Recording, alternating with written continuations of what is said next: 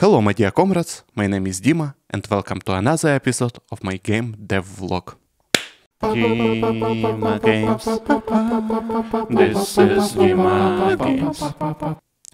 One of the comments I had to my previous video is that my English is not comrade enough. Sorry about that. Luckily, I think I know the way how to improve it. Comrade, you will need to build a naval base of your own with submarines.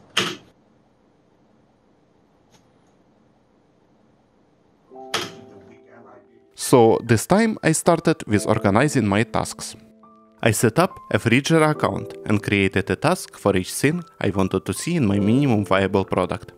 By my estimation, I only need 18 working weeks to have a playable prototype, but I think I should multiply this by 2.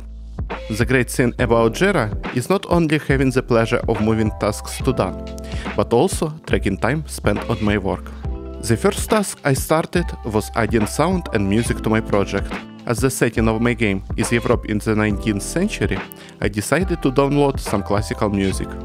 The great thing about that is that many classical performances can be downloaded under Creative Commons license. So I went to a random free music website, downloaded some tracks, normalized them to the same volume and converted to OGG format. Then I created a jukebox script, which extends the audio stream player. It takes all OGG files from a specified location, form a shuffled list of them, and continuously plays every track in that list. I also created convenient key binding for skipping to next track.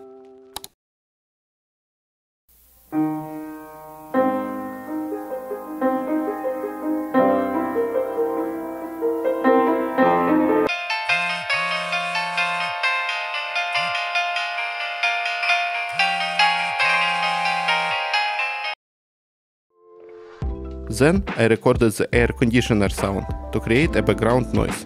After adding equalizer to the noise, changing its pitch and volume up on camera movement, I've got a great sound of a jetpack. Changing pitch down on camera movement sounded better. Adding spatial audio notes with the sound of birds in the woods was a very simple task, but this added a lot of liveliness to the scene.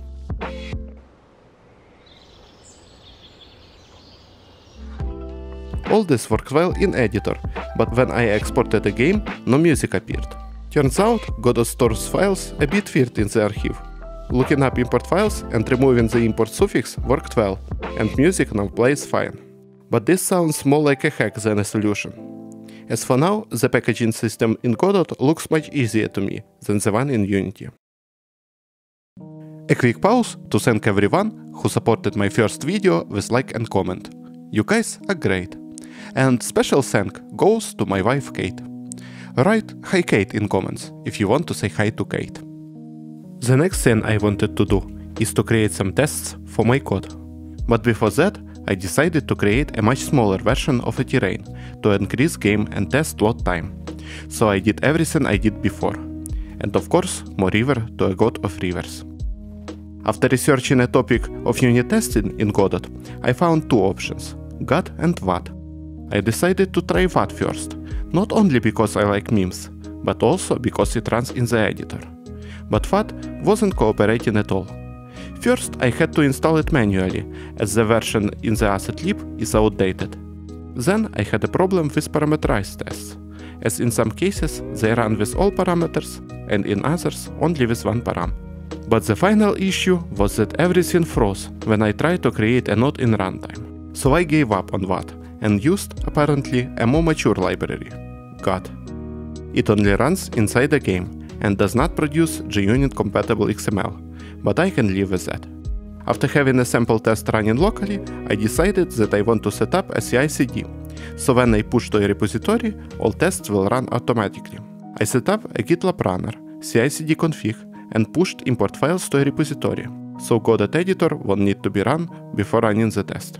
I tried that and pipeline failed with an error that OpenGL session cannot be created.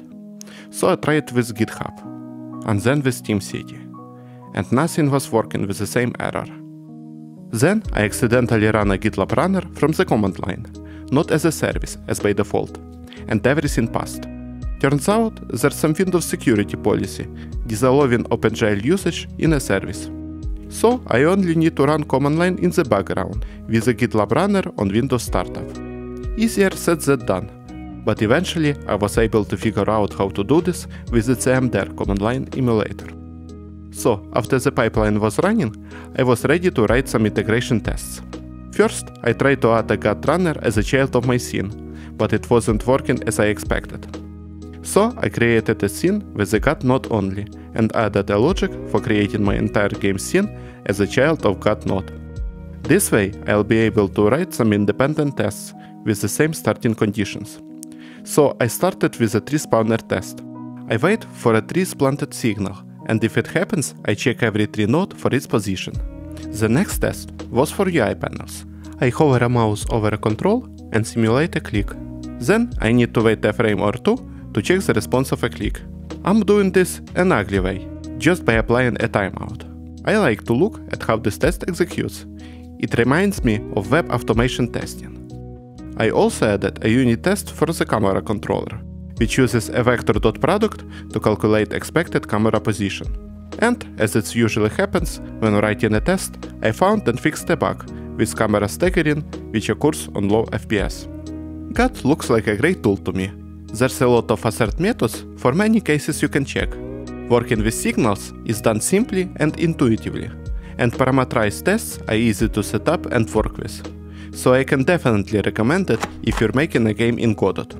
And I am 100% sure that if you want to write a piece of software which will be delivered to users, it has to have tests covering at least major cases.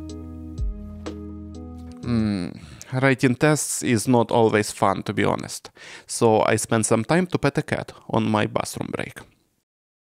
There's a good fella. That's my boy.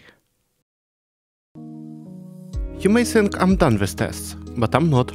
With such a great success in GDScript, I decided to add some tests to my C++ library. How hard can it be, I thought. Super easy, barely an inconvenience. Oh, I was so wrong. First, I tried to add a C++ testing library to build. I tried with Catch first and then with Google Test. But in each case, I was losing an uneven fight with CMake. Only after some long hours of learning and trying, I was able to run a sample test both locally and on CI/CD. But when I tried to write tests with an actual Godot in it, I got crashes with some weird C++ runtime error. Not being able to continue this fight, I gave up. I think you'll need a Godot runtime to be able to create nodes and stuff. You cannot just go ahead and run a library compiled for Godot without Godot itself. In any case, I can write unit tests for C++ library from GDScript, which is a workaround. It will be good to have native C++ tests though, so I will try again later with Godot 4 extensions. Oh, all this testing makes me hungry.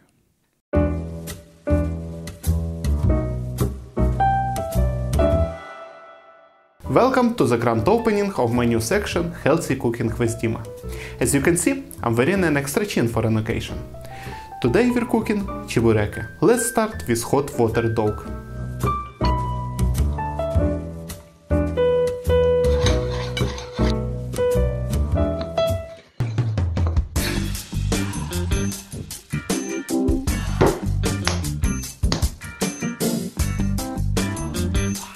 Let's continue with stuffing. I have a mix of ground beef, pork, onion and the broth.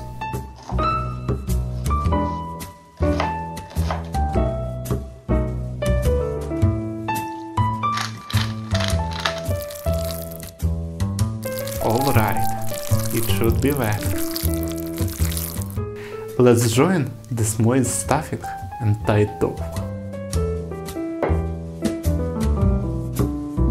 A trick for a good chibureke is having a perfect circle.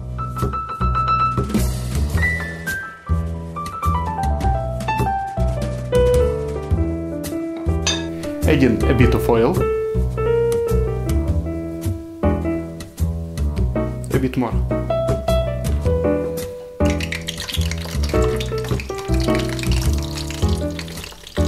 And cooking them for and cooking them for 3 minutes per side. Kate, there is a whole emergency here. What we do? That's what he said. That's what he said. Add the green side, and here you go. A perfect healthy meal.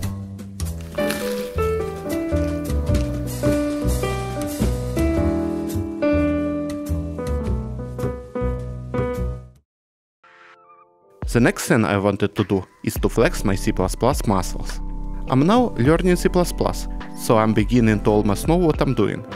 As my game will be grid based, I started by implementing the grid itself.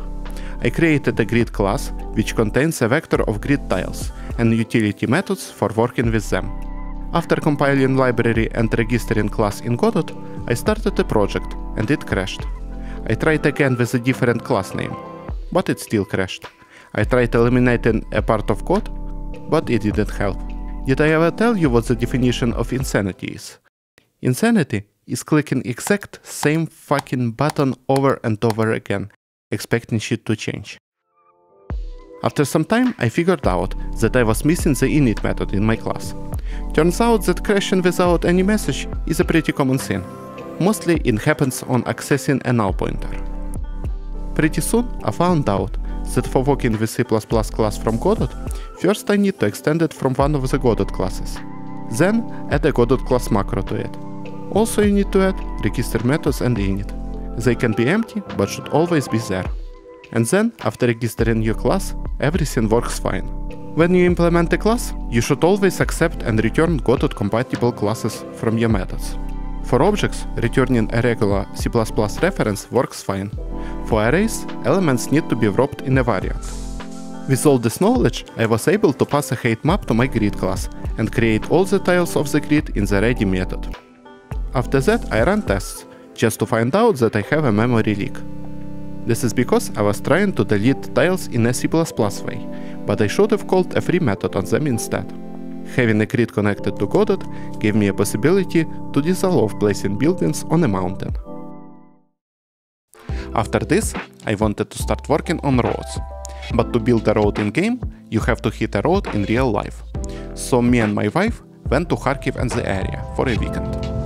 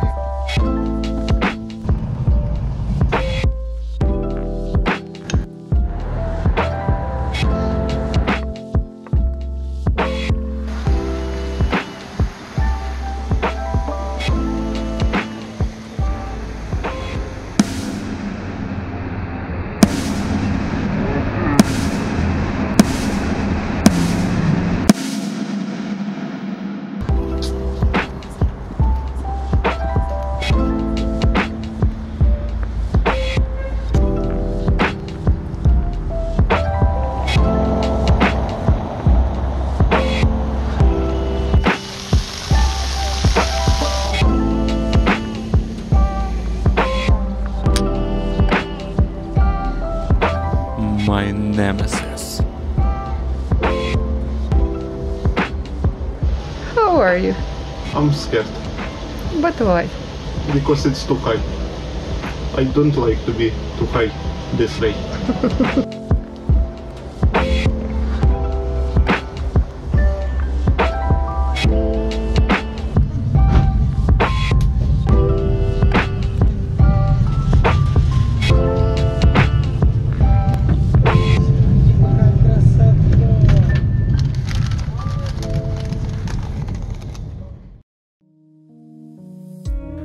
the first step for building roads was to implement pathfinding.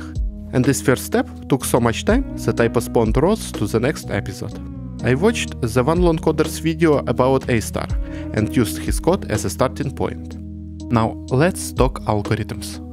A star is an algorithm for searching for the best path from start to end node. This is done by getting each neighbor of the current node and then calculating two things. The distance we pass from the start, which is called the local cost, and the heuristic, which is the distance to a goal. These two are then summed up as a global goal value. On the next iteration, we get a node with lowest global goal, get neighbors for it, and continue until we reach our end node. Or until we visit all nodes and there's no neighbors to check. This way, we will always look up neighbors in the direction of an end node. I created a separate node struct, which contains all data needed for an A star. I have a map of these objects, and in the progress of the algorithm, I either create an instance of a node or get it from the map. After some time, I was able to get a pass array in the Godot. This is cool, but I wanted to be able to visualize my path. Turns out, there is no simple way of drawing a line in Godot. First, I tried to do this by creating an instance of a stretched cube per grid cell, but I haven't found the way to properly rotate it. Then I tried with an immediate geometry node. It looks similar to writing a shader, but with GDScript. This works, but it takes like a quarter of a second to draw, so I don't use it. Eventually, I used a trick from Godot recipes, mapping points from terrain to screen and drawing it with UI control. This is a bit a weird way of doing this, but it works. The only downside is that a line may not be drawn on screen edge, but I can live with that. Then I created a pathfinding debug script which saves the starting point on mouse click and calculates a path to a mouse position every frame. After seeing the visualization, I updated the A-star move cost method to have a penalty on path rotation, so it doesn't look like stairs. I also multiply the goal heuristic by a weight, so the algorithm moves towards the goal faster. In this case, I may not find an optimal path. But I don't need an optimal path. I need good performance. So I started measuring the time of finding a path in different parts of the map. The first results were awful. It took up to 500 milliseconds to find the path in my test, so I downloaded a very sleepy C++ profiler and started optimizing. In the code I had, a node was added to a list, and then each iteration the list is sorted to get the item with the lowest global goal. I replaced it with a multi-value tree map, as when I insert an item to it, the map is already sorted. This gave me a performance boost of 350%. Not bad. Then I replaced the heuristic function from Euclidean distance to Manhattan distance. This changed things drastically. Path calculation became almost 10 times faster, lowering time down to 20 milliseconds. After additional optimizing, I've lowered search time twice to 10 milliseconds, which is good enough to use it on runtime. But it is very dependent on how many obstacles you have and requires tuning. Also, the same path but in a different direction gives us about 3 milliseconds. If you've implemented an A-star, please let me know if it's a reasonable timing for my map. The main purpose of the cat is to lie down beautifully. And of course, yawning is also welcomed. In the process of optimizing, I accidentally sorted a queued list in reverse order, which made me find the longest path instead of shortest one. Hmm, look at that. What a nice pattern. I was also looking at other ways to improve the performance of an A-star by implementing the jump point search algorithm. This is basically the same as A-star, but with different neighbor selection logic. I needed to learn, so I watched a video lecture from a wise man with a surprisingly low amount of use. It was explaining canonical orderings and jump point search itself. I tried to implement this algorithm twice, one time by myself and another by copying a code from a pathfinding JavaScript library. But both times it was about a magnitude slower than a regular A-star. I think this is because I actually visit too many nodes before finding a jump point. Also, it may be a problem of absent diagonal moves. But I still want to improve pathfinding performance, so in future I want to implement a hierarchical A-star algorithm. Currently, my implementation places the path through a forest, which is not very good. So I added a reference from a tree spawner to my grid class. In the grid, I wait for a trees planted signal. If it occurs, I go through each tree to fill the grid tiles tree list. After this, a tile with trees is counted as an obstacle. Also, I fixed a performance issue when the path is not found. In this case, I do a grid precalculation, where I take a node, which I call a map entrance, and start scanning the neighbors, similarly to the path search algorithm, but with no costs or end goal. This is called breadth first search. This way I'm building a list of accessible tiles, so when I calculate a path, I won't even start pathfinding if start or end tile is inaccessible. I finished the basic A-star implementation by writing some pathfinding tests. Alright, that's it for this episode. Thank you for watching until this point.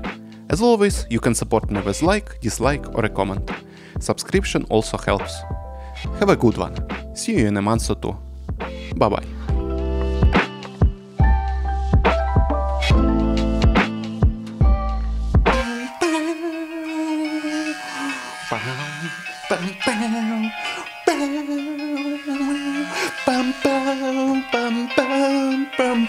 Да-да-да-да-да. Хорошо.